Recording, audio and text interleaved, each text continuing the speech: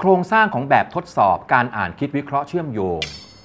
เราก็จะมาศึกษากันถึงเรื่องของโครงสร้างของแบบทดสอบ การอ่านคิดวิเคราะห์เชื่อมโยง โดยแบบทดสอบจะประกอบด้วยบทความ 2 เรื่อง ซึ่งมีขนาดความยาวประมาณ 1 หน้ากระดาษ A4 ซึ่งในแต่ละเรื่องจะมีข้อความที่เป็นโจทย์ที่กำหนดให้ตั้งแต่ 9 ถึง 11 ข้อความ แต่รวมแล้วข้อสอบทั้งฉบับจะมีข้อความทั้งสิ้นรวม 20 ข้อความ ผู้ตอบ จะต้องวิเคราะห์ความสัมพันธ์เชื่อมโยง ระหว่างข้อความในแต่ละข้อที่โจทย์กำหนดกับข้อความอื่น ๆ ที่ยังเหลืออีก9ถึง10 ข้อความนั้น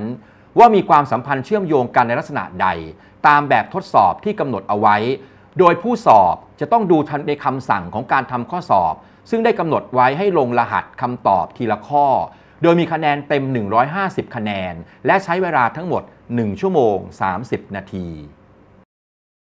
การคิดคะแนนสำหรับคำตอบนั้น จะนำคำตอบทั้งหมดทั้ง 20 ข้อความมารวมกัน